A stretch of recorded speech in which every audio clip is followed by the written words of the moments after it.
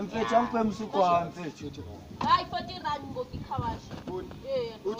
eh, msukwayo yabo uyangiphazamisa ngibizi ngithetha necheri lawo nibizi uyenze zayo kuzongitshela ugwayi uyabhala ugwayi wena ngikubhayela ugwayi izolo ubhayela abantu ugwayi mina bengibhizi ngikunyanga izolo la ukuthi ngibhayela ugwayi ngawubhaya ekugcineni ah, madubu ngiphathele nonestik ah le stik sinjalo sinse ngiklina ngendlebe lesi ndlebe zozolayitangalosa Kailangan niya ako.